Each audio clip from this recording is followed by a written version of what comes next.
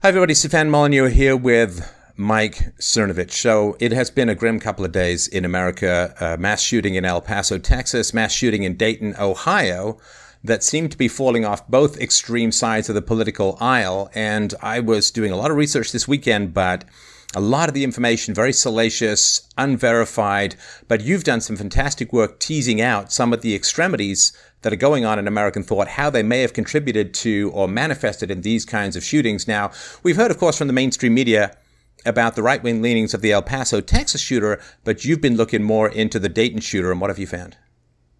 Yeah, the Dayton shooter, um, as reported by Heavy and others, they pointed out a Twitter account that was as on the nose of which you would expect a far left wing person to be. Regular retweets of people in left wing media, regular retweets of people who have actually smeared you and smeared me.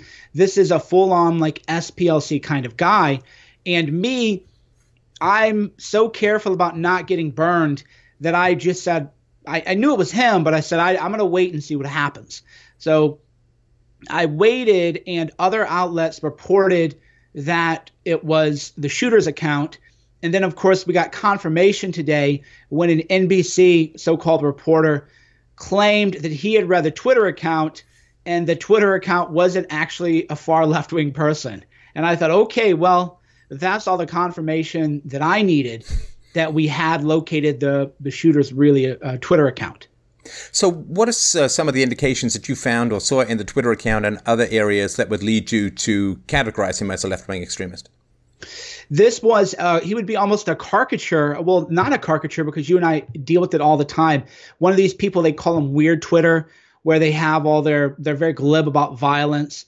This was an account regularly retweeting left wing groups, saying that um, retweeting uh, messaging that they didn't believe ICE agents were human beings, uh, tweeting favorably to AOC, uh, tweeting favorably to the Democrat Socialists of America, was a pro Antifa account, was actually getting advice on firearms training from what's called the Socialist Gun Owners of America in Ohio. So it would be exactly what you would expect a unilateral, singular, far left wing account to look like. All the telltale signs, retweeting all the never Trump propaganda, retweeting the far left wing propaganda, retweeting the, the violent rhetoric calling everyone you disagree with a Nazi or a white supremacist, using the language of AOC that their concentration camps in America, all right on the nose. And that was, again, whenever something is right on the nose, that is when I always pause and, and make sure that it isn't confirmation bias that had gotten the best of me. And I looked for alternative explanations. I looked for Snopes and Fact Check and all these media people to say that's not really his Twitter account. And very often, as very often the case is, it was the media silence that to me was the biggest indicator the account was real because they weren't debunking. When the Washington Times and Heavy and other outlets reported that the Twitter account belonged to the Dayton, Ohio shooter, there was no rush to debunk by Snopes and others. And I said, okay, usually what the media will do is they'll just pretend it's not happening. So if they can say this isn't really the account, they'll be right on it all over it. You got to ban these people. They're spreading disinformation. This isn't the really the shooter's account. Da da da da da. But when it really is the shooter's account, and it shows that the person was a far left wing activist type, then they go radio silent. There did seem to be, and I, I, it seems fairly verified that there were some efforts to change affiliation. There were some efforts to make him look more like a Republican, though he was registered, it seems, as a Democrat. What efforts do you think have been put into attempting to reshape the narrative based upon this? It's got to be one team or the other, and it's got to be an extremist. Yeah, and that's what is troubling me and troubling you. So when the El Paso shooting happened, people here there's a number of reactions that are all show that the glibness of our age. They'll go oh you know this el paso shooter did this and they'll try to time to me and i go well i'm on record not only as opposing political violence but opposing anybody who writes like that freak does. This guy was a true what you would call bigot. He believes um, what you would believe if you had actually pure hatred in your heart. I'm like well you're not owning me. First of all the desire to own me is a problem. Secondly, you're not owning me because I don't like him. And then they go, why don't you ever disavow white supremacist terrorism? I go, one, I've disavowed all terrorism. I held event I held events countering what I viewed as a, a reckless movement happening in America. So, like, I'm, I'm really clear on record. I've had a you're, rally. You're in the White House press room asking the yeah. people there to, and I'll link to this below, but it's a powerful moment for me uh, as a friend of yours, just just in, in rank admiration. You're you're really insisting that even the reporters in the in the White House press room disavow political violence. Yeah, and I don't know why it's that hard. And then when there's a shooting by a far left wing person, immediately they say, "Well, you, you know, you you aren't responsible for." Um, his tweets, or just because he retweeted a guy doesn't mean he was a left winger. Every kind of lie you could imagine, and there's two responses to that.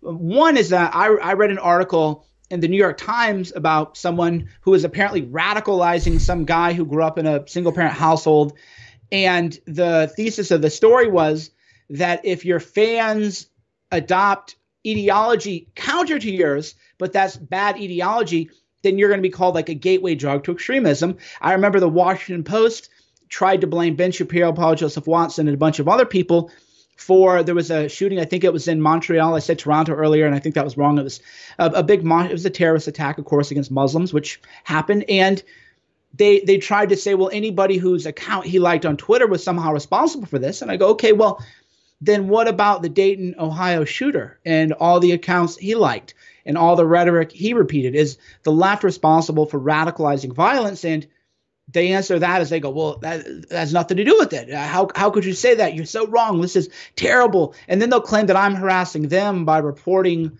on what a mass shooter read from their account. And that is unfortunately where we are is that there's people who are conservative or right leaning or whatever people call me these days who just don't want any of the violence to happen, isn't cool with any of it. And then the left wing media um, continues to endorse tacitly or explicitly violence by Antifa and, and in this case of the far left wing shooter. Where where are the think pieces? Hey, did, did, did they radicalize by the left? calling people Nazis, saying that this is a concentration camp? Is that radicalizing people? No think pieces like that. But I guarantee you, if the El Paso shooter had had an active Twitter account and he was retweeting you and Shapiro and Crowder and you name it, that would be the number one story of the day. Your email and phone would be going off the hook with people demanding that you be banned from social media. It's like, okay, well, we now have a, a far left wing person. This is a far left wing terrorist and the media wants to pretend it didn't happen. It is appalling at, at almost every conceivable level that the people like like yourself and, and myself and others who've consistently called for rational discourse discourse sorry for for a cooling of the rhetoric for a capacity to to find common ground and there is common ground between reasonable people uh, on all I don't want to say like lines, but you know, all areas of the political spectrum. There are a lot of decent people who, you know, we want to help the poor. We want healthcare to be affordable. We want education to be better. We want debt to go down. We want uh, underclasses to have more of an opportunity to drill their way up to the middle class. The methodology of how we go about doing that is a very interesting, complex, and deep question that involves ethics and, and politics and economics in particular and so on. So good hearted people who are coming from particular perspectives, a lot of them have the same goal. And the question is, how do we best achieve it, right? And, and I can guarantee you the way we do not achieve it is by shooting people, by calling for, you know, there was a guy uh, calling for uh, uh, the eradication of, of people who are on the right. This is half the American population, according to some, some data that is going to lead very calling uh, detention centers concentration camps and calling everyone Nazis. This is, uh, as you know, it's a dog whistle for crazy people to target.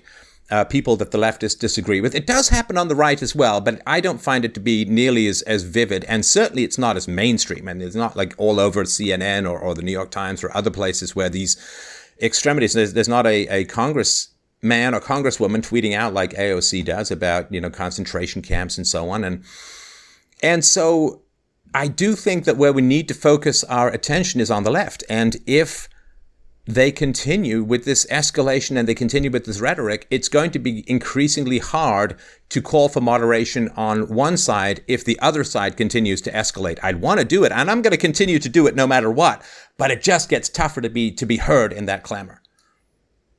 Yeah, they, it's tougher to be heard. It is um, again, the radicalized language being used the the cheap language has a number of effects, and we've talked about this for years, and that's why when these shootings happen, they're very um, they're simultaneously tragic and they're also unfortunately predictable.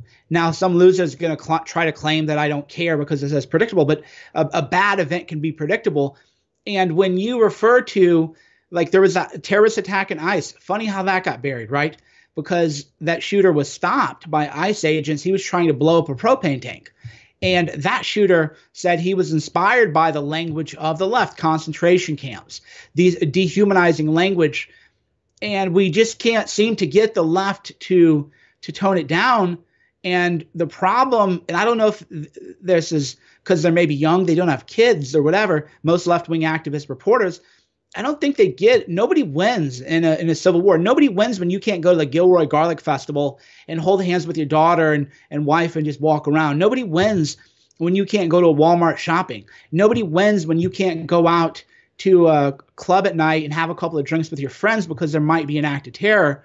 And the the rhetoric on the left again, it, it needs to stop. And when people go, "What about the rhetoric on the right?" I go, you you mean dehumanizing language? Yeah, I don't think we should call um, people things. I don't I don't refer to people as human beings um, in, in, the kind of language that the left uses when they're talking about ICE or people on the right. But here here we are, man, and unfortunately, it's only going to get worse.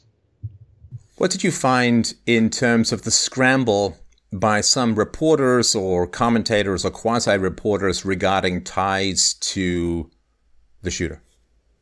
Yeah, he was the shooter was a fanboy, regularly retweeting them, amplifying them, quote retweeting. The most disturbing thing that I found actually was and this is one of those weird moments that it takes a while to process is the shooter was reading disinformation about me spread by a left-wing activist a couple hours before he went on a shooting spree.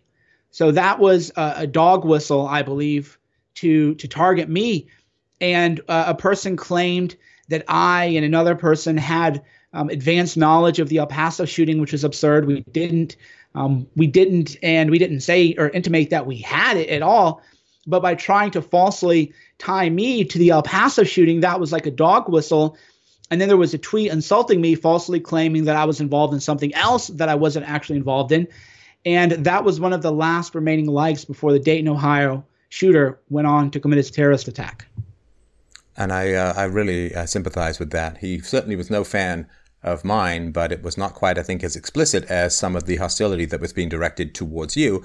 And you know, as we know, and and as we have been talking about for years, Mike, if we are called Nazis, if we are called white supremacists, if we're called this, that, and the other, that is a very clear signal for unstable people to go and and believe that they are acting for the greater good of humanity by taking out horrible people who just want the world to burn and so on. And it's incredibly dangerous stuff. And uh, of course, if it was going the other way, people would be completely mental. And uh, yeah, and I want to, and, and, I, and I'm looking for something right now which is even worse. Um, there was a, a, tweet liked by the shooter, which directly targeted Jack Posobiec, and really no uncertain terms. Um, there was a, a person said, "Raise your hand if you agree it's time to crush." These vile little worms into dust once and for all. And that was a person, quote, uh, retweeting Jack Posobiec. And then the mass shooter um, had liked that. And again, these were being liked just before the attack. So here's what I think happened, Stefan. I, I don't think that this was what you would call this is a, a distinction that you and I and other people who are serious would make, but the media would never make, which is the attack was carried out by a far left wing either activist or activist type, but I don't think it was far left wing terrorism in the sense that they didn't target a gathering of conservatives. I think it was uh, an angry, alienated, bitter left wing person who was consuming uh, bitter, angry, fake stuff about me, Posobiec, you, so many other people. And then he just went into a rage spiral. And then he went out and committed a mass shooting. And that's why, again, I want to be clear. I, I it's one of those maybe it's a distinction that doesn't mean a difference. I don't know. People could argue both ways, but I would say that the attack was carried out by the far left, but I wouldn't say that it was far left wing terrorism per se, because the goal was on the shooter's mind, he just melted down from all this toxic brew that he had stayed in with the far left wing media accounts. Well, I think that's important because, as you say, he didn't have a political target in the way that the guy attacking the, the, the ICE facility clearly did and was clearly motivated by particular language. There, there is a kind of hellscape that occurs in the mind where people just become nihilistic. They have nothing to live for. And I really do believe that if you pump people full of, you know, the Nazis are taking over, and uh, uh, and the world is going to end in, in a decade. And, and like you, when you take away people's capacity to build step by step into a sort of better, stable, happy life, uh, I think it does radicalize people because you have to have something to live for in order to suppress your darker instincts. It's the old thing, like the, the guy who's on death row, who's got his last meal well, he doesn't really care about the carb levels. He doesn't really care about the sugar content because it's his last meal. And if you keep telling people that the world is about to explode and, and the climate is about to turn everything into a fiery desert and there's nothing, it really does get tough, particularly for less robust people to sense that they have a future. And I think that doesn't make people evil, but it gives them less ammunition with, with which to hold back the darker sides of their natures. Well, he's probably um, uh, probably using drugs. He's in a dark room at night with nothing else lighting him but a laptop, and he's reading things that are toxic and making him angry. And he's creating a cycle. He's just rage. And then he killed his sister, for example. Yeah. And he just went on some kind of uncontrollable rage spiral because the words that we read do impact our minds and do impact our thinking. And everything he was reading was about rage telling people that there's warfare happening. I remember, I mean, for example, I remember how much trouble Alex Jones got in. This was used actually to ban him, but because he had said that get your battle rifles ready. And he even said, I'm being metaphorical, but there were a bunch of articles saying, well, he's radicalizing people for violence. Well, what about these left wing accounts, right? People go, well, that's whataboutism. And the answer is this is the Socratic method. The Socratic method is that you're trying to discover the rule that governs human behavior by looking at discrete examples. So if you're in the media and you're saying, well, if some you know kid believes bad things because he watched Molyneux, even though the stuff the kid believes are different than what Molyneux even talks about, okay, now you've said then that there is something to look at. Okay, well, if this Dayton, Ohio mass shooter, terrorist, what people want to call him, if he's reading all this left wing anger bait stuff, then why is that different? Why would you not say we need to have a conversation about left wing rhetoric? And then they go, what about ism? Or they'll go, what about Comet? And, you know, what about all this other stuff? I'm like, well, first of all, I never had anything to do with that. Second of all, if if one of my readers, a big fan of me, did something heinous, then you know what I would say? I would say I feel terrible. I'm not responsible for what he did, but I'm willing to have a conversation. I'm willing to to look into you know, my own language, my own rhetoric. I'm, I'm willing to have a conversation. I'm willing to do some soul searching. But the left, this is not speculative. Again, this is not hypothetical. This is not a Twitter account followed 50 people and he followed everybody. This was a, a Twitter account that followed left wing accounts. He wanted agitation, he wanted far left wing propaganda, and it ruined his mind. And we've had prior shooters who followed people like the Young Turks. There was an attack uh, that you have written about that was motivated by the SPLC, according to some reports. Well, the the Floyd Lee, there was no actually. That's not speculative. That's a matter of public record. Uh, there was a attempted mass shooting in Washington D.C. at the Family Research Council. And when the FBI interrogated him, they said, What are you? He said, I'm a left wing activist. And they said, Well, how'd you find this place? And he said, I went on the SPLC website. And he had, uh, I think, two or three other names written down and they were also groups listed as on the hate watch of the SPLC. So there, there's what you would call a direct nexus, and then the nexus becomes a little bit less direct. And here's what I mean by that: we know that Elliot Rodger was a, a big fan of the Young Turks. That got scrubbed from the internet, but we we all have the screenshots, and we know that he was a subscriber. Okay, well, yeah, the Young Turks are kind of toxic, but is it really fair to blame Elliot Rodger on them? There's an argument to be had there, but if they say that you're responsible for what other people um, do, then you would have to say, well, why is one different than the other? And then you have there was a Seattle mall shooting. I forget the or stabbing. I think I forget the person's. There's so many of these. Unfortunately, it's becoming. You have to actually have an encyclopedia. Unfortunately, this person was also a, a big fan of the Young Turks. And those are again, well, are fans, you know, what do you mean? But in the case of the Family Research Council shooting, there was a direct nexus. There's court records. The Floyd Lee Corkins, the shooter, said, I went in there to kill as many people as I possibly could. And I went there because I found them on the SPLC website. Okay, that's that's as clean and direct a nexus as you can get from terrorism and incitement there too. Now, with the Twitter account of the uh, Dayton, Ohio terrorist, well, he was reading all this material regularly. He was reading it just before the shooting. He was embroiled in all of this negative, toxic mindset, toxic content. So that's a really close direct nexus. And uh, and again, if the El Paso shooter had a Twitter account and all he was doing is retweeting conservatives all day, I guarantee you we'd be having a conversation about that. And it would be the number one conversation on the news.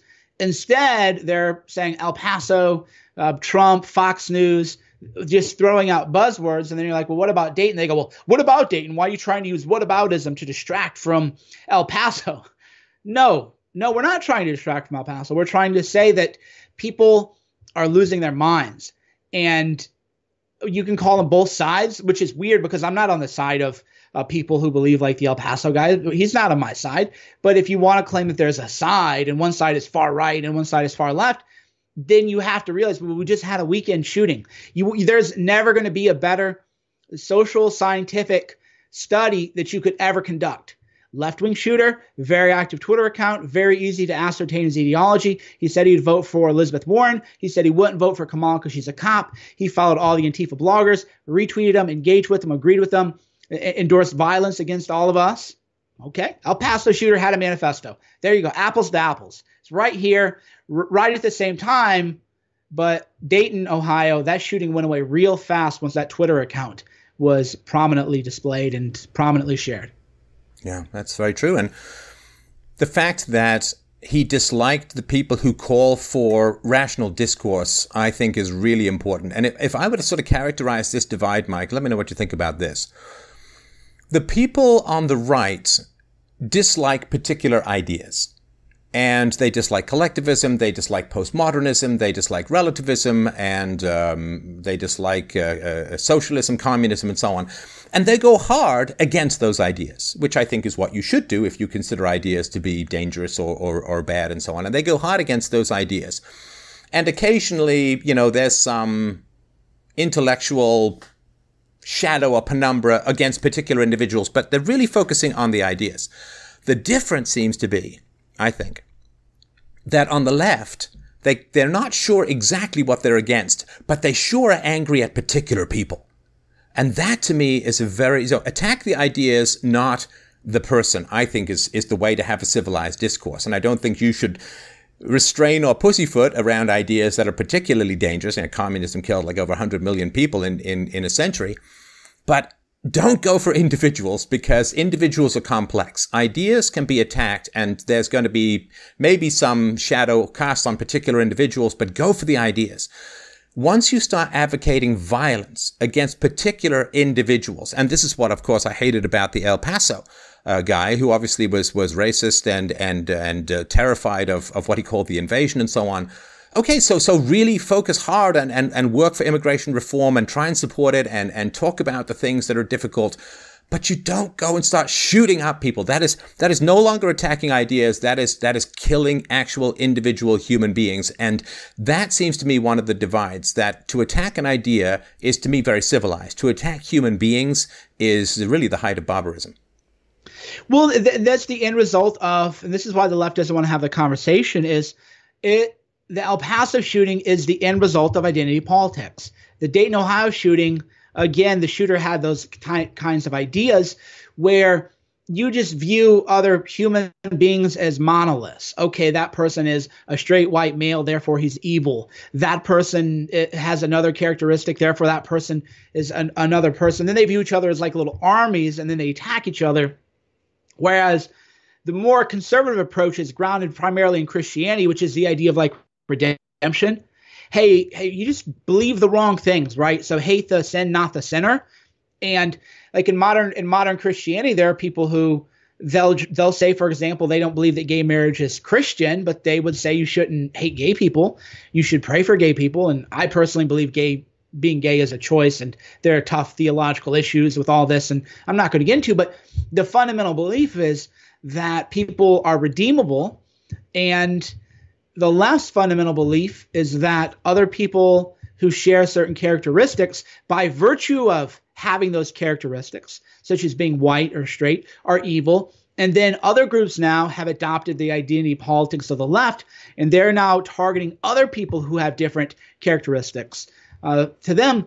And this was again all all foreseeable, predictable. For example, when the punch a Nazi meme came and they thought, oh, LOL, isn't that so funny? Violence. And I, w- I would say, well, what if, you know, what happens when people view you as a Nazi? well, I'm not the Nazis. Don't, you know, the, the other people are Nazis. I go, but that is never how it works. That's not the way. Any, if you know anything about human nature, human psychology, if you've watched a History Channel special, you know you never just get to say, well, violence against Nazis is is okay, but they're Nazis and that'll never be used on us, and they won't see us as Nazis. And of course, we're we're now seeing the normalization of political violence, the intersecting with identity politics, and that's what makes the times today dangerous. And there was, I think, an interesting distinction between these two shooters as well. So I won't get into details. I'll put a couple links below. But the El Paso, Texas shooter came from, I think, what could be reasonably described as an extremely toxic and dysfunctional background. Like his father was a, a, a therapist who seemed to have some significant issues. He was a self proclaimed drug addict for 40 years. And, you know, he was also treating people while being a drug addict himself, doing Lord knows how much damage to vulnerable people and so on, right? And this is all in, in his autobiography that he published. So this is not any kind of hearsay. This is straight from the horse's mouth. So there's some significant indications of an extremely dysfunctional family. I did look into the Dayton, Ohio's family, uh, the Dayton, Ohio shooters family. You know, I mean, nothing un nothing that would stand out as as untoward. And you know history is uh, people talking about like he was you know, nasty in high school and so on right? But the family itself doesn't have any particularly obvious markers. Now it's early and, and this may change over time and it's really of course hard to to stare through the fourth wall of a family home and know what goes on inside. But if i compare these two uh, evil people. Uh, w- one, you can sort of say, okay, you know, what he did was absolutely immoral, evil, and wretched but I can see some particular environment that might end up with him being really messed up. And it's harder to see, or at least I, I, don't see anything obvious with the Dayton, Ohio shooter. And that seems to me, okay, well, if, if one guy's radicalized by an incredibly monstrous family life, where's the other guy going crazy from? Now, ah, it could be any number of things that we don't know about yet. But just from where I sit, one's pretty clear and the other one does not seem to be clear at all. Well, people, I think, are being raised by the internet and that that's fundamentally the problem. I I read a tweet, couple tweets today that said most children won't grow up in a home where there's books everywhere, and I thought, yeah, that's profound in a way where there were bookstores. Um, right, you would walk down the street, there was a little local bookstore, used bookstore, and parenting has been outsourced to the internet, and that allows people to get in their little subcultures and engage in tribalism in a different way. So one of the paradoxes of my thinking and lifestyle and choices are that the internet makes it if you're kind of a niche, niche person and people just aren't interested in what you're interested in, then you can unite with like minded people on the internet, whereas conventional living and conventional people can be maybe not always interested in the same things you are. Now, the flip side, though, is that people are all finding their little tribes in their community and not being forced to interact with each other. Now, in the case of the Dayton, Ohio shooter, he threatened to kill people. I believe he was expelled from school. Yeah. I haven't seen that confirmed yet. He had a, a as far as I've seen reported, he had both a kill list for the boys and a rape list for the girls. This is according to his uh, school uh, mates, and was you know pretty universally loathed and feared. And I'm not sure how you end up just tootling around society with those kind of predilections. Yeah, and where are the parents? So there's a number of things was he on you know antidepressants and mental health issues? I don't know. They all have a look. There there's something to it where there's a vacant stare in the eyes of these people. Is that environmental? I, I don't know. I don't and i'm i'm happy to say i don't know. Scott adams had a good tweet which was anybody with a univariable explanation for these shootings is just a hack and you can dismiss them. so if your if your explanation is, well, he was Republican or well he's Democrat or you know single mom or was on antidepressants or that or that, it's like well if you're only in one variable thinking, then you're not actually thinking. This is very complex, and it's okay. I think I wish more people would take this approach. You just say I don't know. I don't know. We need to think about a lot of these things. So, but we, we do know there's a pattern. It, it, it tends to be first of all, almost all violence is male. This is non controversial. The shootings happening in Baltimore, Chicago, and others tend to be by people of a different race. And then these big sort of wholesale shootings tend to be white males. And you know, the the whole Republican, well, what about Chicago 53 shootings? It's like, okay, can we can we talk about these issues too though? Right? There's this game, and, and that's the problem the media feeds into it. They they rush so hard to blame conservatives or Republicans that then conservatives and Republicans are being falsely blamed, and then they want to deflect and then say, well, but, you know, but Democrats were in Chicago and Baltimore, and look at that, and then people like us are thinking, well, it's all well and good that you want to scream at each other and blame each other, but wouldn't it be more productive and healthy for us to find out, or at least try to find out, what's going on? Well, and we won't, as, as you say, as long as people try to reduce complex uh, situations for, you know, for one particular variable, which usually is serving their political motives. And, and that's, you know, it, it is tempting, of course, to try when you have a particularly strong passion or mission to say, I'm going to try and find some way to, to use this tragedy to further my mission, right? And, you know, if your mission is good, it's understandable, although it does reduce things down to one variable or two variables where it is very complex. It is very complex. Then people say, oh, well, you know, this means we got to have gun control. It's like, no, I don't think that's going to be uh, the answer. There were more guns per capita in America in 1900 and these mm-hmm. kinds of shootings weren't uh, weren't going on. As you say, there are different ethnic breakdowns. I've heard uh, different uh, uh ways of looking at it depending on how you define it. One race more than another. It's very complex. Yeah, there's a lot of single mom shooters, but you think of all the millions of people like myself raised by single moms who didn't become shooters. Again, it's not really gonna, you're not gonna get a lot of causality there. I think it's gonna be a whole bunch of overlapping circles, and then we try and find where these particular motives are. And I did a presentation recently on the destruction of America's mental health care system, where uh, people who had real issues were taken out of society, not put in prison, but put into areas where they had talk therapy. They they were in peaceful, serene, beautiful environments. They had meaningful labor.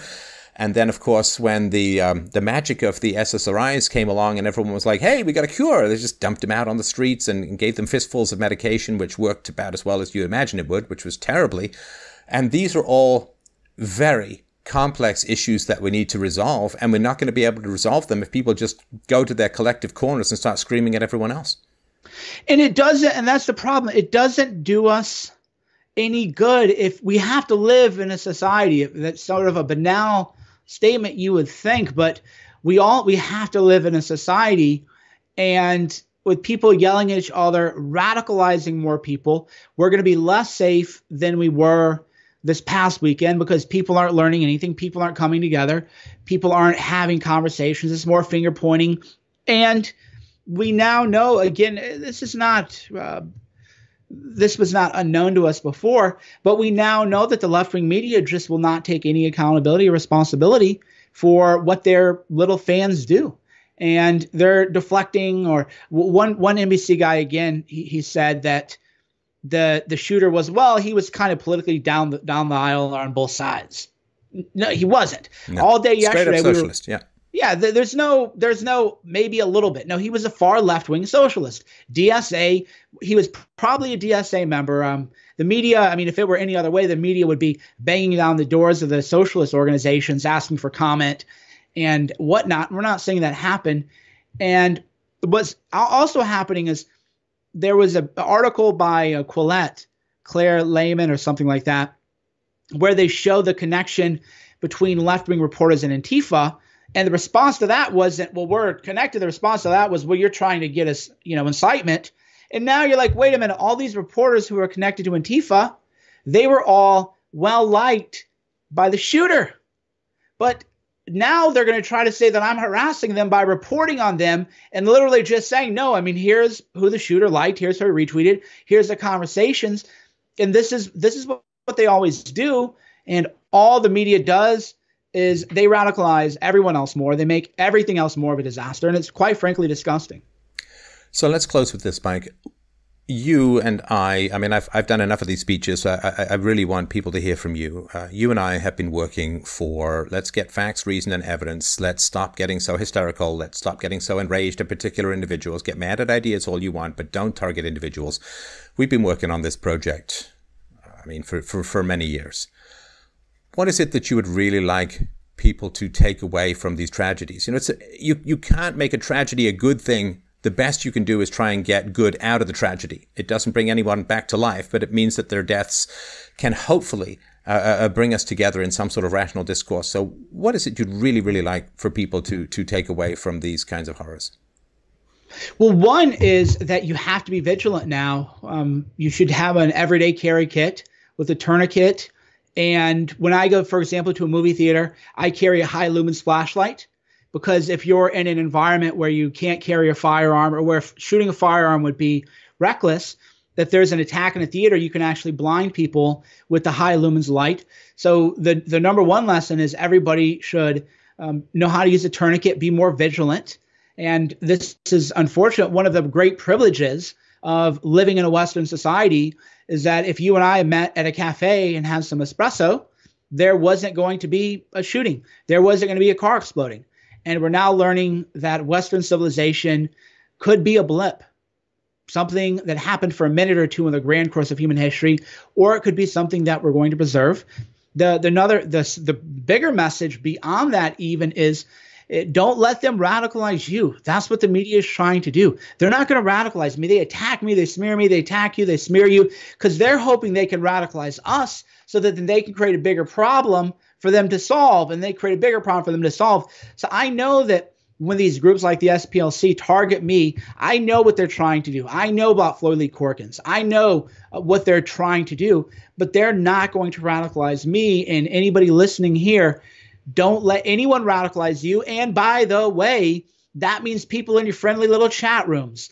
There was a person in, um, I believe it was Ohio, actually. He painted a swastika on a over over by a synagogue at a building and you, you know, I read all the police reports, and there was agitprop there. There was somebody saying, "Oh, you're, you know, what? Go do that. Go do that. It's funny. LOL."